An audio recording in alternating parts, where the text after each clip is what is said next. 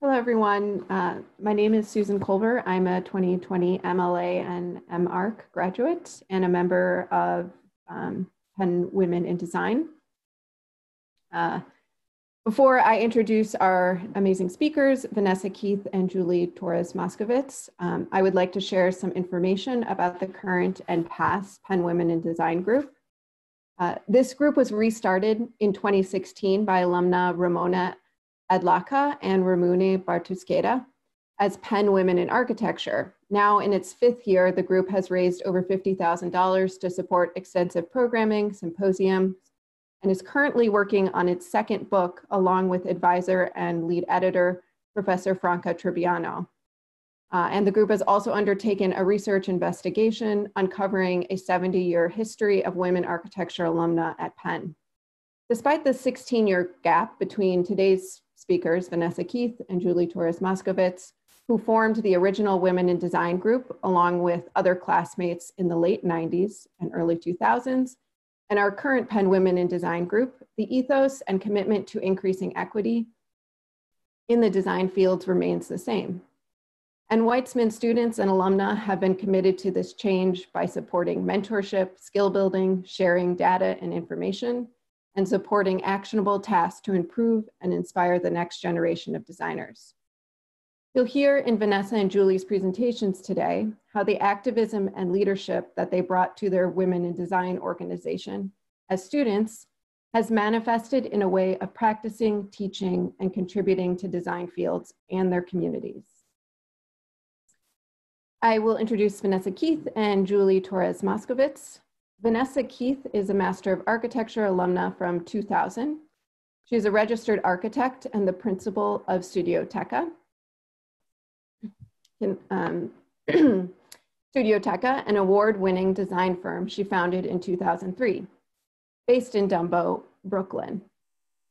Studio Studioteka approaches design through a multidisciplinary lens that spans the boundaries between architecture, economic, and social development as well as urban and environmental concerns. Vanessa is especially interested in the issues faced by cities as they adapt to climate change and in envisioning design-oriented technical and engineering solutions to environmental problems. Vanessa is the author of 2100, A Dystopia Utopia, The City After Climate Change, a book on the future of cities in a hotter world with a preface by Saskia Sassen published by Terreform as part of the late Michael Sorkin's Urban Research Series. She is also an editor of Kingston Harbor, Development Transects, a book of urban design work published by Columbia University in 2010. She has taught a capstone course in economic and political development at Columbia SIPA, as well as interior design, architecture, and urban design studios at Columbia GSAPP, Pratt Institute, City College Spitzer School of Architecture, and the University of Pennsylvania. Julie Torres Moskovitz, Master of Architecture alumna from uh, 2000 as well, is a licensed architect and founder of Fete Nature Architecture, FNA, based in Brooklyn. FNA Studio is a vital collaborative firm whose process is founded in research and investigation of new ways to inhabit the urban fabric. This method of working is informed by an aptitude for green technologies, collaboration, and commitment to equity, climate adaptation, and reimagining architecture for common good and enjoyment. she is the author of The Greenest Home, Super Insulated and Passive House Design, published by Princeton Architectural Press, and she contributed to Women Rebuild, Stories, Polemics, and Future, Futures. Her studio, FNA, completed several resiliency projects in Canarsie, Brooklyn, as part of NYC's Build It Back program. She is on the advisory board of the Street Vendor Project and the Institute for Public Architecture, and she was appointed by the mayor to the NYC Loft Law Board, which she works, where she works with tenants and landlords. Torres Moskovitz teaches an eco-urban seminar at Syracuse University School of Architecture, and she is a judicial delegate and county committee member for Assembly District 50 in Brooklyn. Before um, our presenters uh, give their presentation, I would just like to ask that everyone uh, can introduce themselves in the chat, but we would love if people ask their questions in the Q&A. You can see those are two different uh, buttons. That'll help us keep track of questions and you can um, introduce where you're from and uh, the year you graduated in the chat so we get to know you. And without further ado, thank you so much, Vanessa. Um, you can start your presentation. Thank you very much, Susan. Okay, I'm going to share my screen.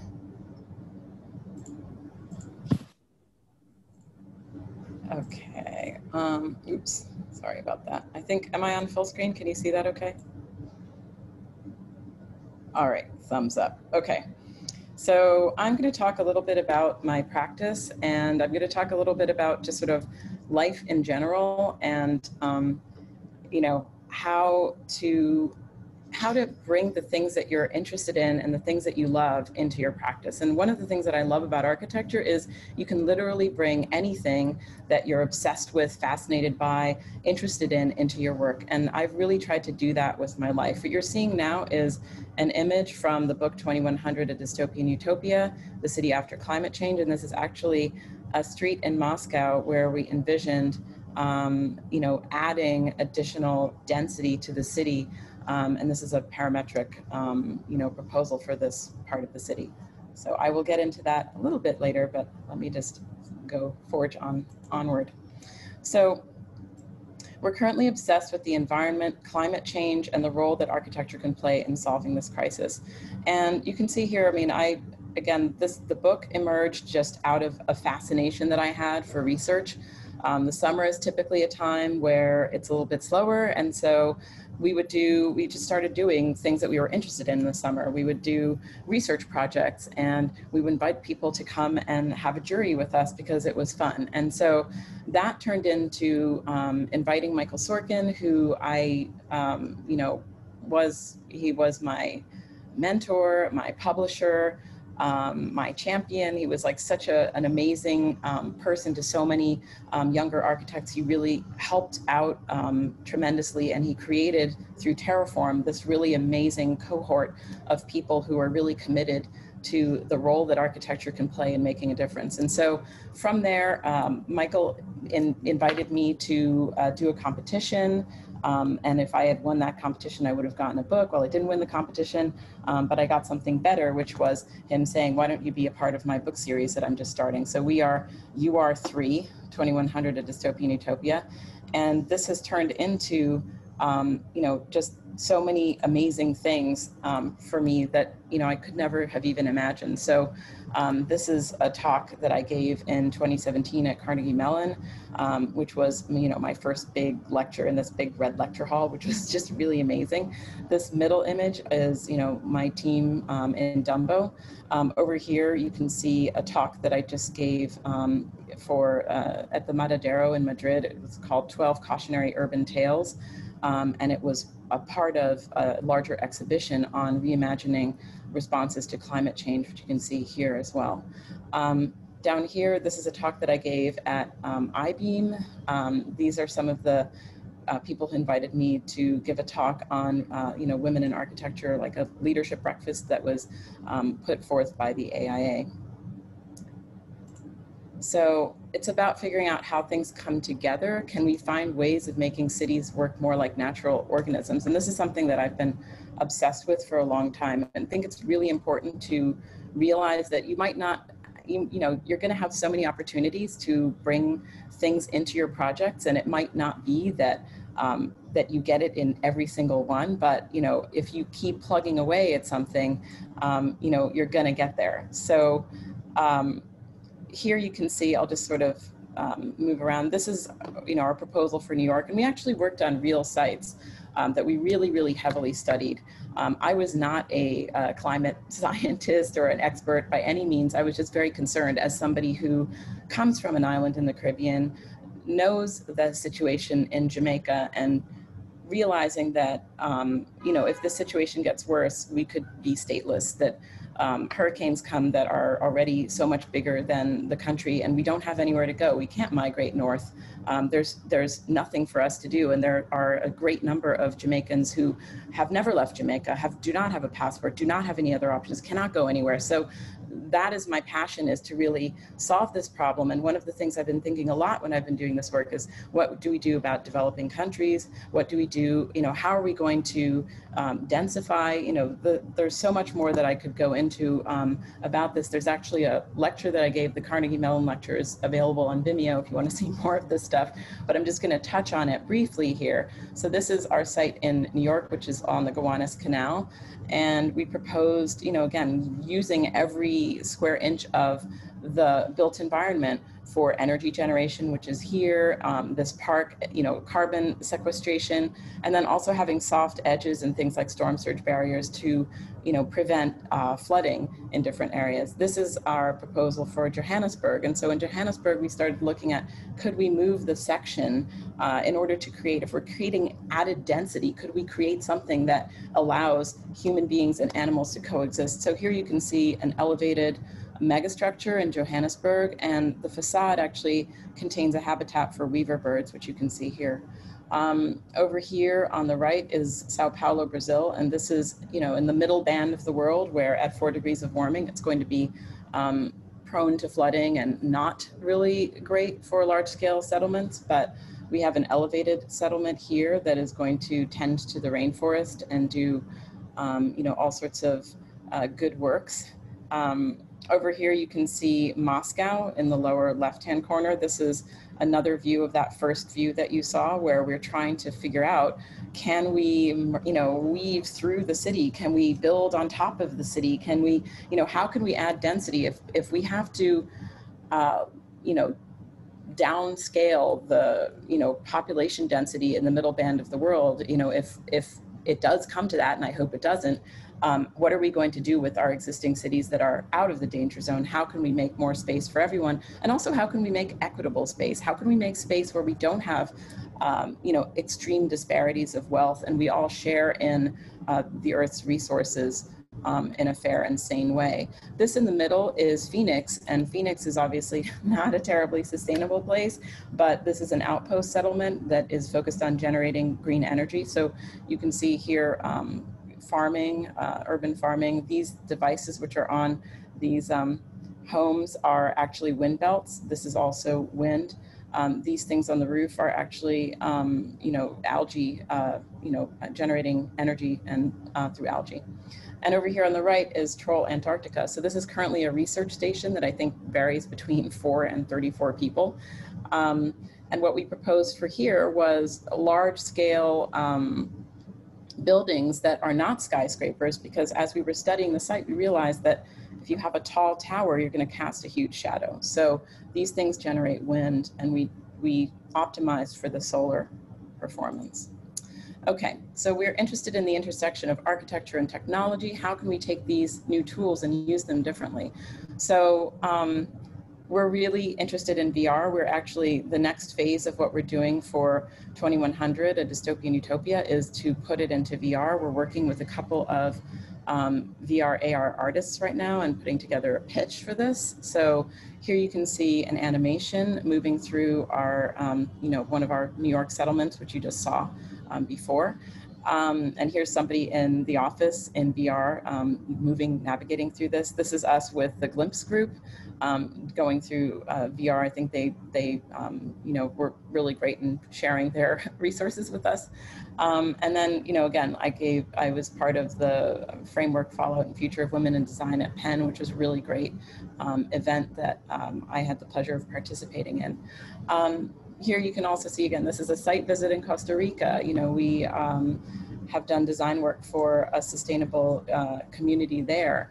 Um, we do um, investment packages where we figure out like how can we, we do market research, how can we make this thing work? Um, you know, there's my horse. I actually, the horse fell with me on him. That was a whole other story. Um, Landscape Architecture Magazine um, you know, wrote a really great article about the book called Thrive or Survive, which you can find.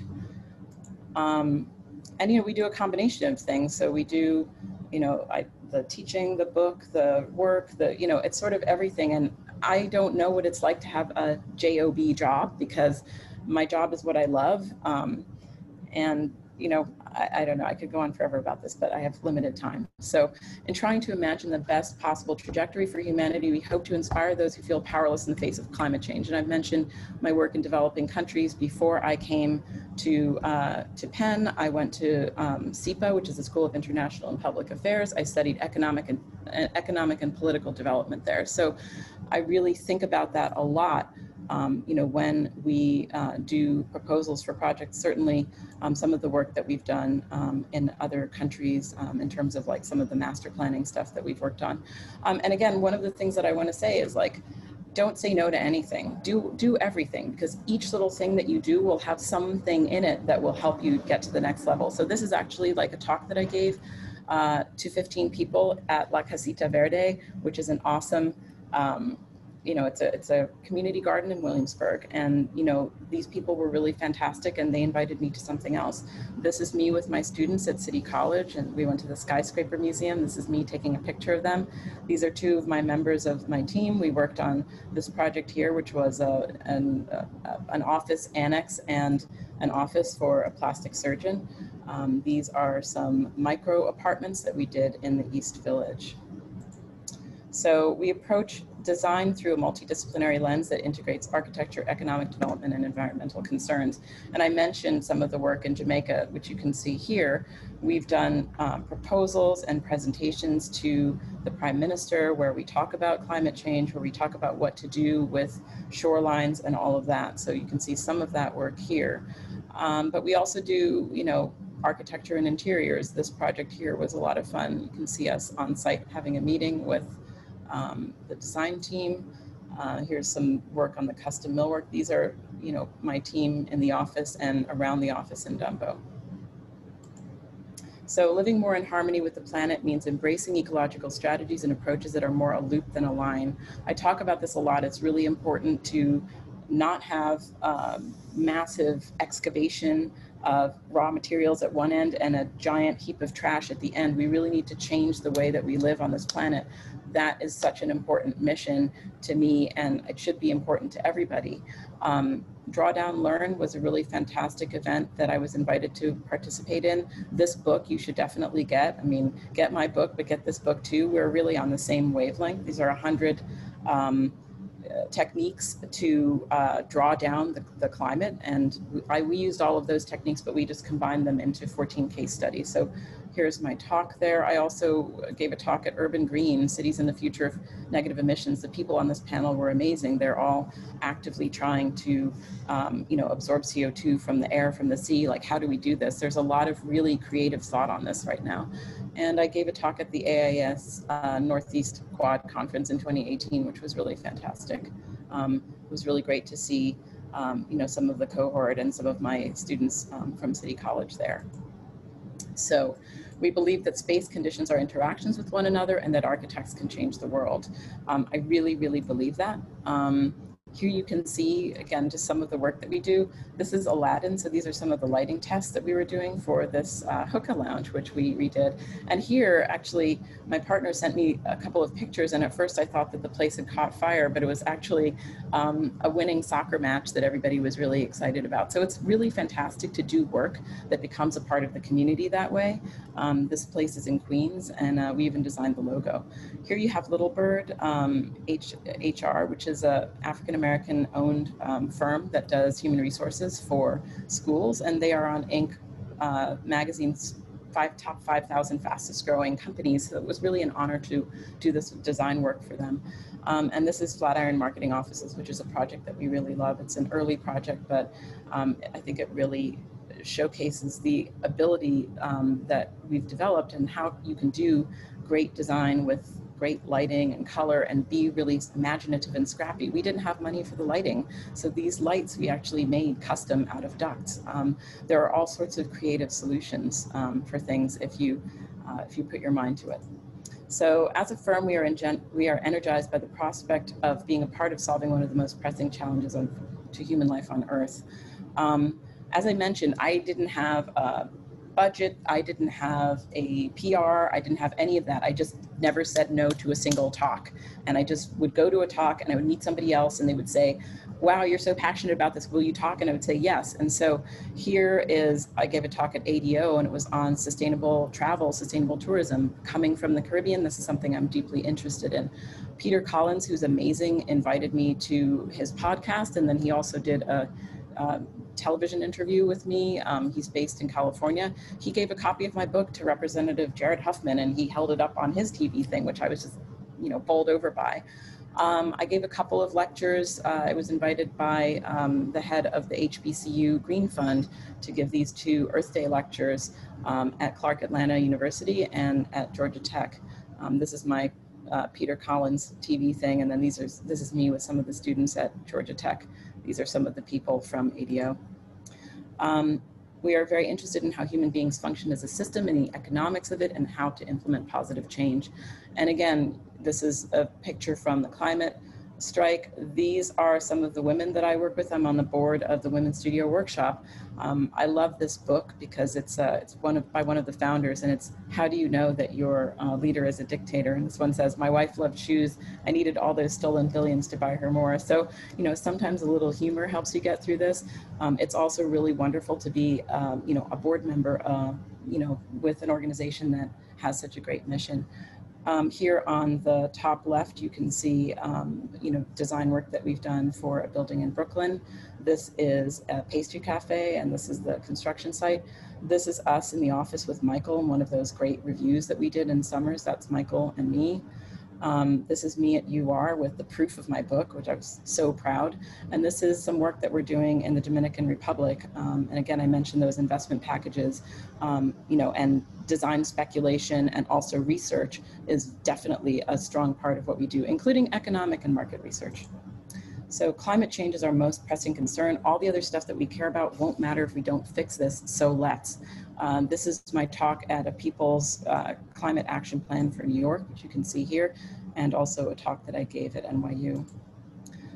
Architecture is this all-encompassing and huge undertaking. It changes you the way you think and the way you see the world. I could not agree with that more. When I was in my first studio in architecture, I would wake up uh, dreaming my projects um, and I never got lost in a building again after that. So here you can see some of my students um, at City College. Here you see my students um, this semester at Penn.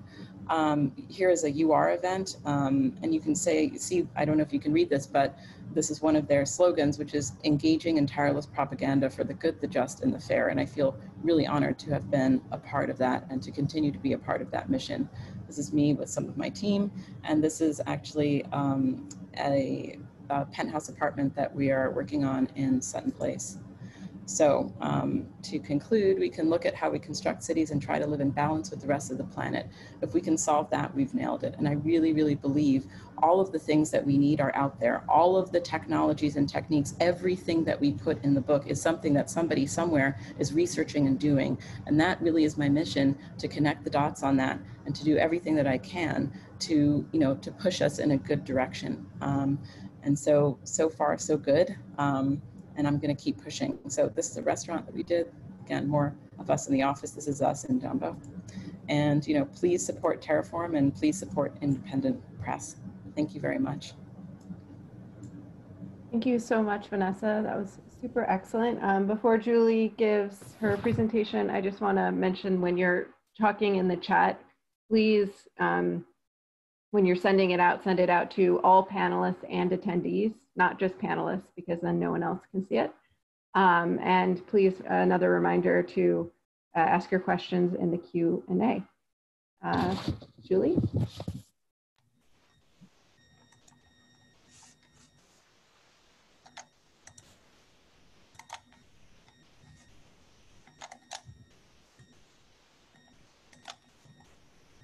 Hello.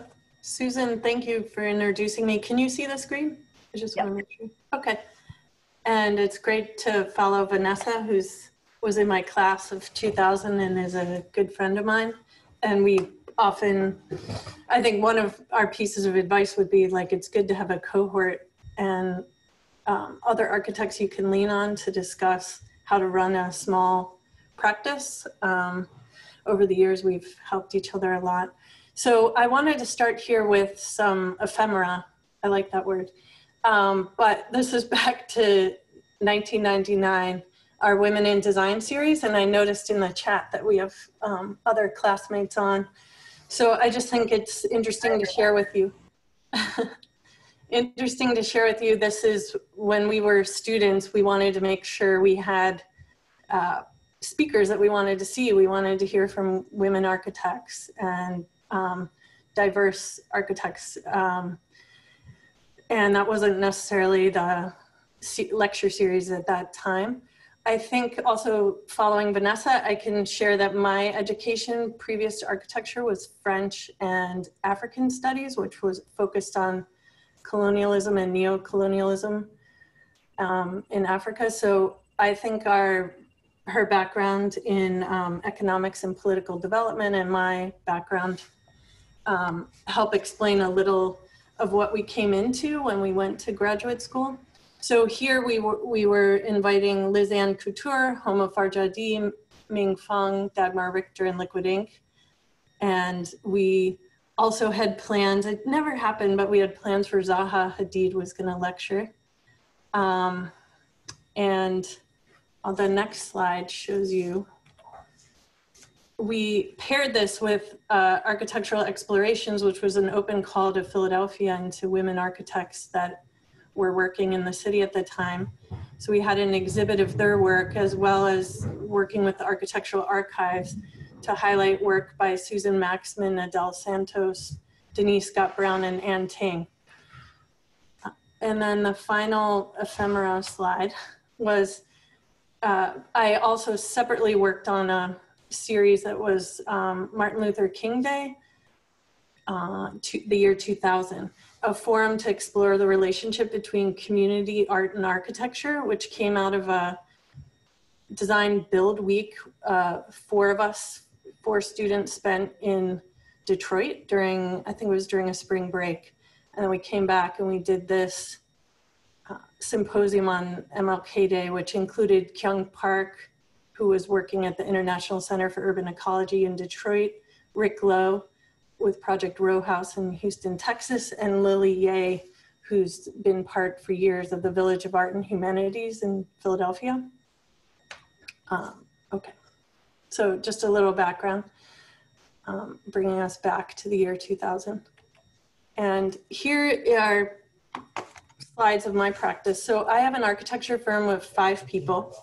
And this first image is an example of some of our activism where we mix, um, I mean, I think it's seamless, the relationship between architecture and politics and um, the fight for social justice and equity. So this was a bill this summer when de Blasio and New York City Council was proposing intro 1947 that was going to, um, it was to open the streets for restaurants and street vendors we were advocating and I spoke on the public hearing. We did these quick renderings to show how even in my community in Williamsburg, we could share the uh, street between street vendors and down the street there is a Shake Shack that has their restaurant set up. So we wanted to quickly advocate for street vendors um, because they're often marginalized in the city. And we also thought it was an opportunity on the right. You see hand sanitation, um, recycling station, sitting areas, just fun for the streets, more like a safe block party during that pandemic.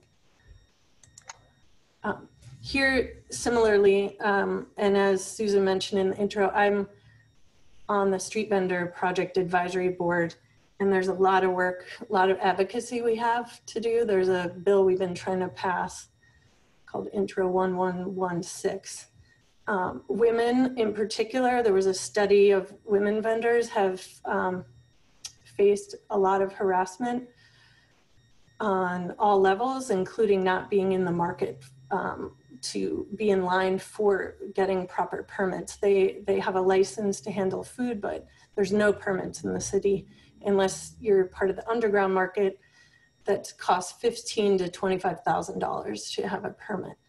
Um, that's because the city hasn't issued any since 1983. Um, so we're pushing for the Lift the Caps bill. And this image section is from Jackson Heights, Queens, where we were imagining with um, New York Senator Jessica Ramos and Street Vendor Project, uh, a community of street vendors, women that would occupy five spaces you can see on the right within the, um, this transit hub. And they would safely be able to sell um, food and merchandise um, in these spaces. So we we worked with them as a team, and we were also working with so it was state and city council members and vendors. Um, street vendor projects comprised of 2,000 street vendor members.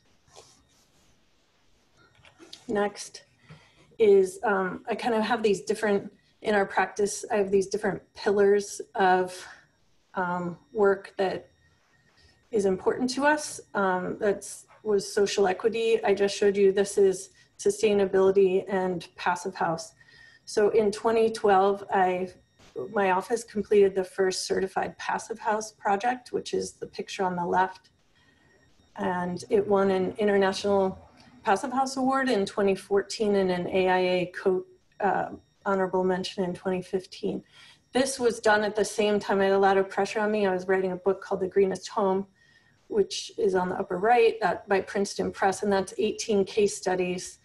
Um, big kudos to Vanessa for making up and visualizing 18 case studies for 2100. I know from this book it was a lot of work just to have 18 case studies of real projects that um, I had to interview contractors, homeowners, architects. And so I really became involved in Passive House, which if you don't know, probably many of you do know, but uh, the diagram on the right explains that Passive House, it, in general, to sum it up quickly, it's continuous insulation, triple glazed windows and doors, using a um, ERV, fresh air ventilation system.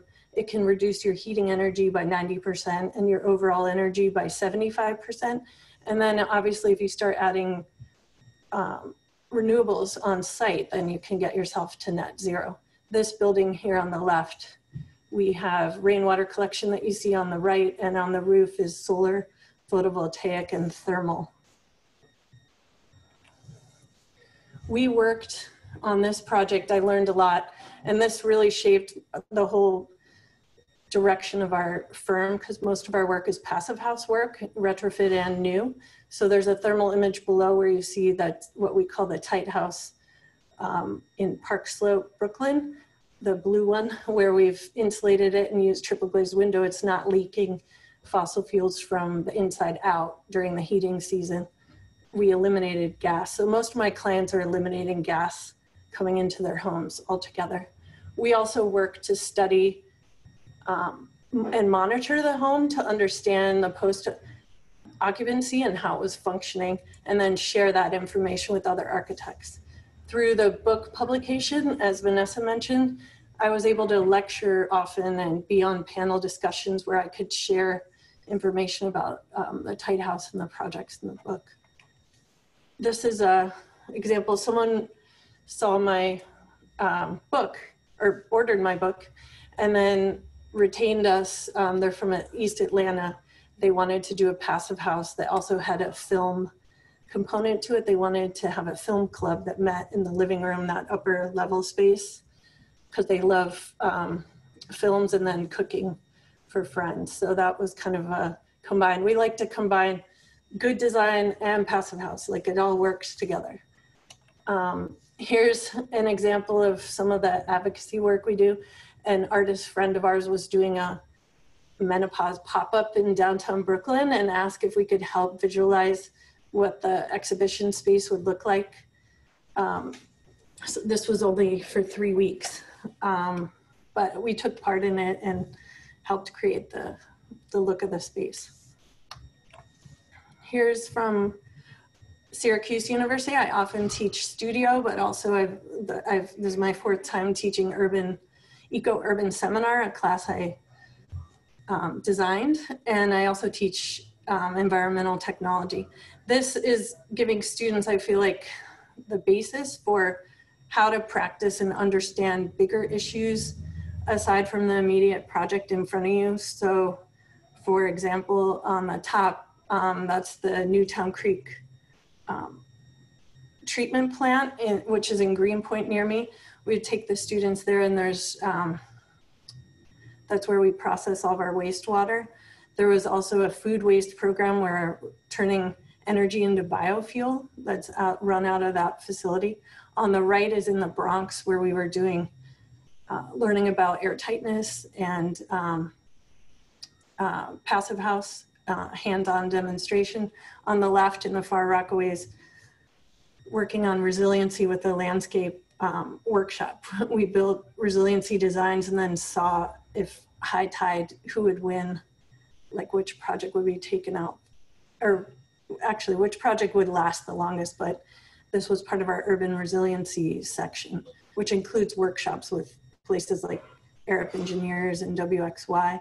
On the right is from a facility, Sure We Can, of canners in Bushwick, Brooklyn, who um, like 700 families live from collecting cans for distribution.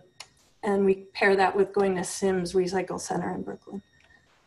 This is, um, I do a lot of work with um, the FLIR camera and thermal imagery, studying it in different ways with the students as they get to know New York City. And here's uh, Broadway where we, it's interesting, this thermal image shows that um, the sidewalks were, are heated. We had no idea, but the thermal image shows it.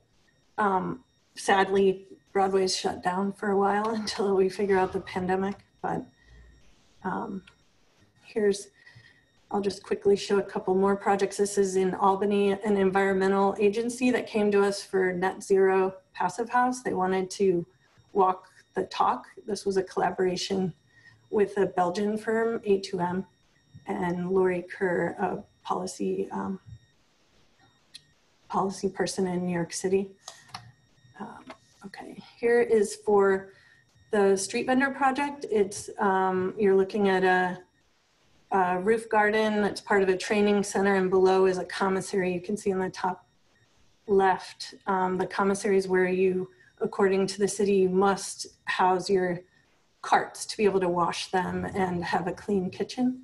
So we envisioned a social justice commissary with the street vendor project here's a project at a foundation during construction because we've built a lot of projects too. I showed a lot of renderings, but over the last 20 years, um, we've built a lot of projects as well that are on our website. I just happen to want to feature the, the ones that are rendered and visualized. But um, here was for Build It Back after Hurricane Sandy. We worked with a cohort team of, we were working on 10 projects. We were responsible for these two in Canarsie, Brooklyn, which is the very end of the L line. And here's the foundation under construction. You can see the two homes on the right.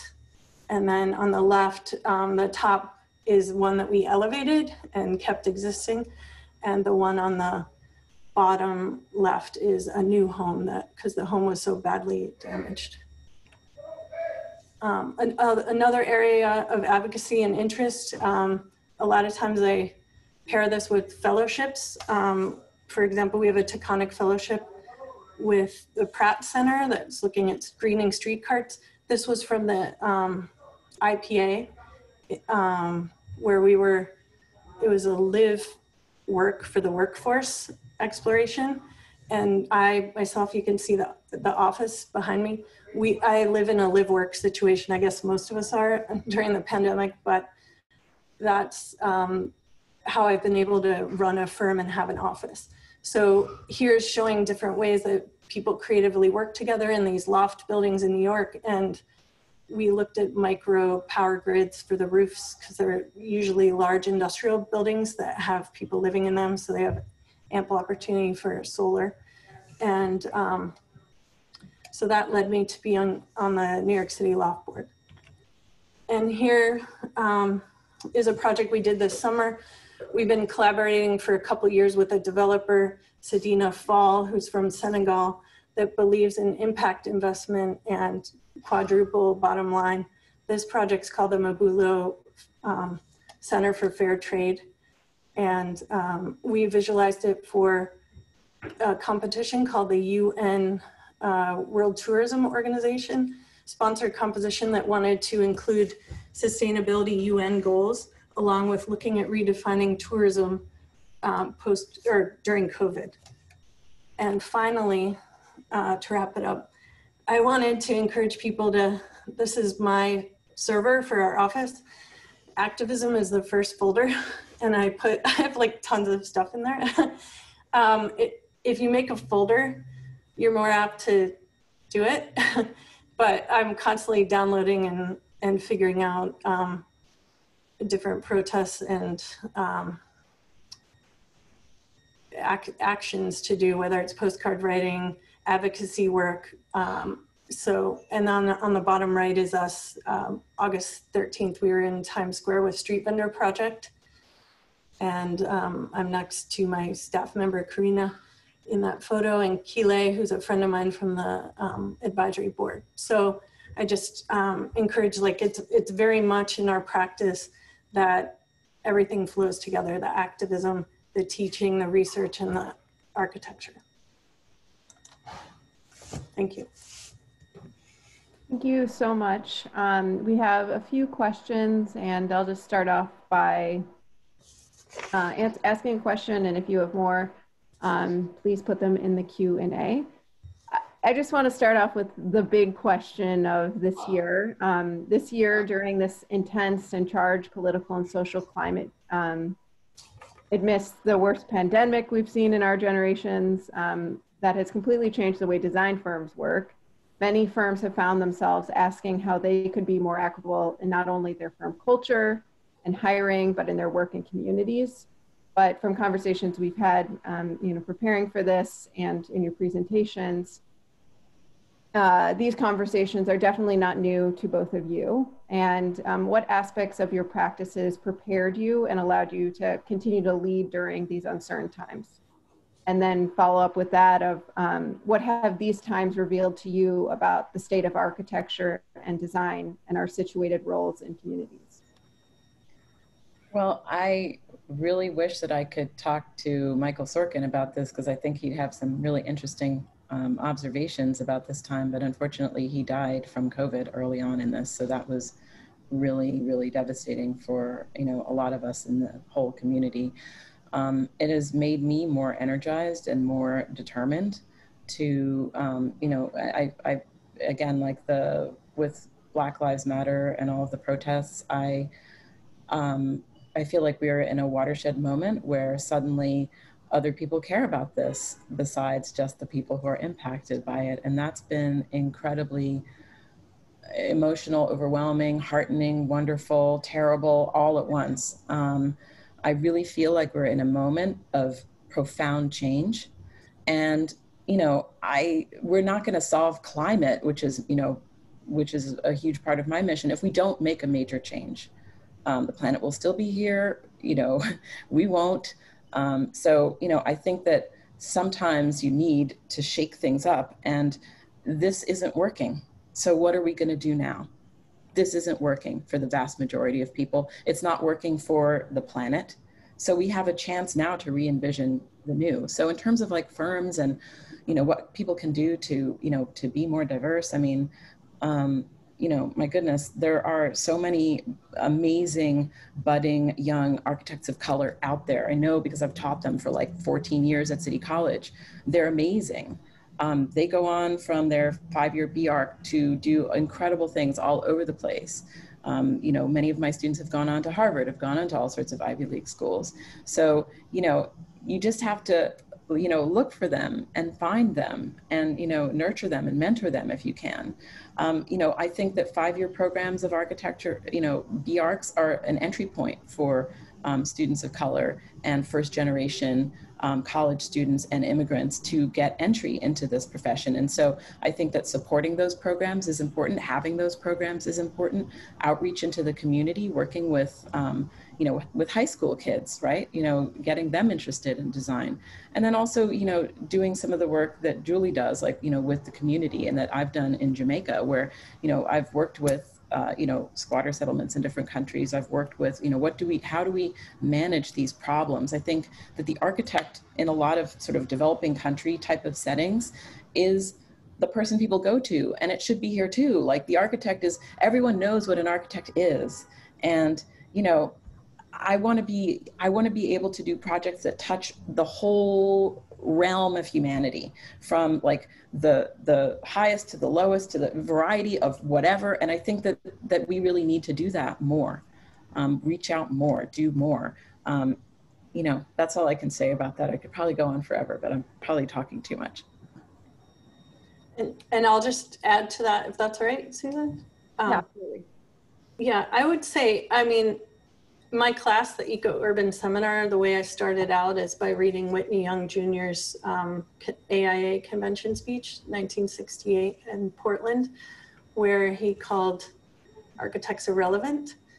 And I really feel that we are borderline irrelevant unless we do something to be relevant, right? So, which to me is getting in the street and understanding um, what people need, what public space needs, uh, how we can bring social justice and equity. So um, that I I give advice to my students like don't wait for you to have a boss that gives you an assignment. There's so many um, people and groups that have um, concerns. It could be a, a farmer's market that's not well trafficked. How do you help them build up their um, traffic so that they can survive and that vendors are making money and staying there. There's all kinds of skills we have. I'm not suggesting someone without a license like build a building, but there's all types of people in our community and we are the community, we are the neighborhood. We have to get engaged and involved to be able to help and there's plenty to help. I've noticed over the years in practice, a lot of architects, can't speak for everyone, but in New York City, um, will do renderings pro bono, or I guess it's not called pro bono, for free for a developer. And, but then they, they don't do it for a community. So I just made it, and I decided not to enter competitions that are just gonna be 2,000 great entries and go nowhere. But when I have um, a chunk of money in my office to spend, I'm going to spend it with my staff working on a to solve a problem that I care about, that we care about in our own community um, for street vendors. Or um, I, I decided with um, Sedina in Senegal, that was something I was very interested in. I have a background in um, African studies and French, and I wanted to see, I believed in his impact investment. So just choosing carefully where you spend that time. I made a conscious decision to not spend it on a fly by night developer coming through that's just going to use my designs and leave me, but I'm going to invest in community with my power as an architect. Excellent. Um, I'm gonna, there's two questions in the Q and A, um, and I'm just gonna read both of them. One's to Julie, one to Vanessa, and um, um, from California. Um, she says, Julie, thanks for your work. Uh, I like how your work also includes real advocacy for policy change in addition to your built projects. We've been involved with the city agencies to do community projects in the Bay Area. I'd be curious to know about uh, what pathways have gotten you involved in urban policy and advocacy in New York. Maybe we can compare with California. And then for Vanessa, um, you mentioned VR. How how are you using it in your practice? Could you expand on how you're using it and how you envision it may aid in more design? Um, those two questions. Okay, I mean, is it all right if I'll go first because you mentioned the question first? Um, thank you for asking from California. Yeah, I got into activism on Passive House and policy and realizing attending Passive House conferences, but also after I wrote the book and lecturing and speaking to people that uh, okay i can do you know one brownstone at a time or if i work on policy we can change like all the buildings in new york city. So i started i spent a couple years partnering with a2m and um, a belgian firm that had done large scale passive house in europe. And we did a lot of advocacy work just um, on our own meeting with um, all kinds of government agencies and just describing the larger scale schools, um, affordable housing, uh, public projects that can all happen the way um, Belgium was able to do. Um, and you can go to Belgium and see all these buildings. They're retrofit, they're landmark, they're new buildings. So that was really empowering to me. And I, I realized through that process, um, and I've also been engaged, I should have mentioned AIA Center for Architecture, teaching trainings on local law. So local law 31 was public buildings have to be 50% better than energy code. And um, so I taught that class with the Belgian and now I'm training to teach a class, local law 97, which is New York City buildings over 25,000 square feet are gonna have to become um, energy efficient, like pushing them to, otherwise they're facing carbon penalties in a couple years. Buildings will also have grades on it, like restaurants. So these are all things from not just me and the Belgian architect going around, but from many, many architects and others concerned about the environment standing up and meeting politicians and working to make policy change. Okay, so I guess I should answer the VR question. Um, I'm really interested in virtual space and in technology, but also in subverting technology. And I don't want VR to just be this uh, expensive gadgets for rich weirdos, which sometimes it is. Um, I met Tamiko Thiel, who is a really amazing um, VR AR artist at one of my talks. I gave a talk at iBeam, and actually, this is kind of how it has gone for me. I go to a talk, I meet somebody, somebody wants to collaborate or wants to do something, and it, you know, very, it's happened for me very organically. So Tamiko and I have been trying to find a way to work together, and uh, you know, she is as passionate about um, climate change as I am, and you know she's done even some of her pieces relate to this. And so she brought in um, Olivia McGilchrist, who's somebody else she works with, who's doing a PhD in um, Canada, and we're working with another. Uh, you know, friend of mine who has a space in um, Jersey City that's like a giant, um, you know, VR AR space um, what we would really like to do, we're trying to put the cities of the book into VR and have a sort of choice matrix. So you can see what choices you make and if a, you know a million people make the same choice as you what is the carbon uh, result of that? And what what future does that propel you into? So we want really want to create something where you can see the impacts of your choices good or bad. Um, it's also not only about individualism because i think one of the things that's one or individual action. One of the things that's really interesting is that even during the height of the pandemic, the um, emissions didn't go down that much. I think it went down by like maybe 5%, and I was in shock. But that's not surprising given that all of the buildings were still on with the electrical running and all this stuff, and the AC running 24 7, and all of that kind of stuff. All of that machine, our industrial machine, was still going. So um, I think it's, you know, it's important to think about systems, to think about um, policy and advocacy. Um, you know, I didn't mention a lot of the things that I've done in Jamaica. Actually, my family has, for the past 20 years, we have a house. Actually, Julie came and stayed with us. Um, it's called Carliva Bay. So if you look up carlivabay.com, you can see some of the stuff that we've done with local groups. We've worked with local schools. We've worked with the Women um, Women's uh, Center of Jamaica. We've worked with um, the Rural Agricultural Development Authority and seeing how we can do things and use these skills to help people um, and to bring, uh, you, you, know, again, it's, it's tremendously um, satisfying work. It's tremendously important, I think, to use your skills and your ideas and like, you know, speak to government officials and speak to the local people and reach out and do all of that. And I guess the one thing that I would say is, you know, things can happen very organically if you're really passionate about it if you're really dedicated to it and you really want to do this and this is like i would be doing this anyway um, you know i'm not I, I like haven't made like any money from my book you know this is not it's really about like i just want to get the word out. I just want to solve this problem. So if any of you are interested in doing that email me. Let's do stuff. Excellent. Um, I want to, we're running tight on time right now, but I just want to give you both a um, final comment or anything you'd like to say to the alumni or alumni, um, and then we'll pass it back to Charlotte.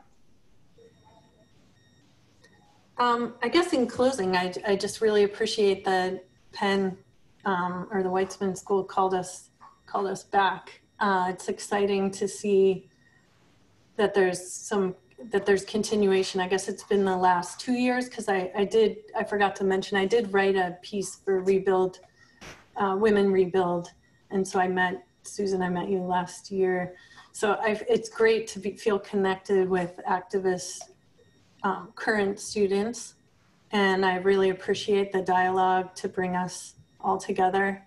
And it's actually interesting. I, I don't know how you feel, Vanessa, but just to see that I can't even believe it's been 20 years, but that we are still activists like we were back then. It doesn't go away. It's like intrinsic in how we practice, and nobody's going to take that away from us. So, for anyone listening that is an activist or that wants to make their practice more relevant to these social um, justice, um, economic justice issues, I think that, um, you know, you have the power to do it as an architect, and I happily talk to anyone who wants any advice or has ideas but isn't sure how to implement it. I'm happy to talk to anyone. What I would say is follow your dreams and follow your passion and don't give up the number of people who give up when they're right at the finish line is probably a lot. I have literally been face down on the floor of my office weeping, having lost two projects right before the holidays and came back from that. Um, you know, there are moments that have been really tough. It has not been super easy. Um, but I feel so blessed because I feel like this nurtures me, it feeds my soul, it's something that means something to me. Um, I feel that I'm doing good in the world and I really want to keep pushing that. And I think that we're at the precipice of amazing positive change right now. Right now is a complete shit show. It sucks. It's like horrible. Um, and I tell like young people in my audience, this is bullshit, and you really need to like, uh, you know, sorry for the curse words, but you realize it's like not fair that we're handing you this mess. So everybody needs to stand up and do what they can to fix things. And I think that that's actually very energizing and very positive. And I think we can do it. We have all the technologies, the techniques, the knowledge, all of the stuff that we need. We just need to put it together and make a plan. And so I would really encourage you if I can be a, an optimist after studying climate change for as long as I have and going around talking to people about this book, there is something positive in this that can come out of this. And I think that we can also push our profession, like you were saying, Julie, architecture is not irrelevant. Let's not fall into irrelevancy and retreat into the academy and not care. Like, let's use our positions. I mean, let's use our voice to really get out there and engage with our communities. Um, you know, I've been teaching at Penn again, and it's wonderful. The students are wonderful. It's an amazing place still. The ideas are the same. The vibe is the same. Some of the same people are there. Like some of your your old props are still there, and they're amazing. You know, and it's an incredibly supportive community that really wants to do good in the world. And that's also really great to see as an alum to go back and to see, you know what? It's different tools, but it's the same place. And I really, really love that. I'm thoroughly enjoying it. So if anything I've said resonates with you, please email me. Well, thank you so much. What an inspiring conversation. And um, I'm going to pass it on to Charlotte. Thank you so much. Uh, thank you for attending today's uh, event, and my apologies for my unstable connection from earlier. Just in case, Susan will close with final comments. Um, I want to especially thank Vanessa, Julie, and Susan for their insights. We will share the recording of this and upcoming talks on the Weitzman School site in case you would like to rewatch or share with others. Uh, the Weitzman development team is also planning an additional three virtual talks this fall. On October 19th, join three Weitzman alumni for designing practice. Rudabeh Pakravan, Kristen Sadell, and Maxine Sags Kennedy will discuss designing practices that engage with the community and the culture of architecture through building. On November 12th, as part of the university homecoming this, this year, please join Preserving Black History Towards a More Inclusive Movement. In this virtual, virtual talk, historic preservation alumna Monica Rhodes, Professor Randall Mason, and architect, architecture alum Mark Gardner will discuss preserving the legacy of civil rights history and the creation of a new center at Weitzman School focused on the preservation of civil rights sites. On December 8th, join us for Dialogues with Designers, a conversation between Stuart Weitzman and Wendy Evans Josephs, who will discuss their careers and how designing and how designers successfully work with clients. This talk will be moderated by Mark Gardner. Keep an eye out, an eye out for announcements to register for this upcoming event. And finally, for Penn alumni and students, QuakerNet, the alumni directory, will soon become MyPenn. This dynamic new platform will serve as a one-stop portal with the same benefits of the old system, along with new options for interacting, customizable experience, and updated resources. MyPenn will go live in the middle of October. As president of the Alumni Association, I want to thank you all for coming to today's program and extend my gratitude for the ongoing support provided by our alumni community. Stay safe and see you soon. Thank you. Thank you, everybody. Thanks, everyone. Thank you.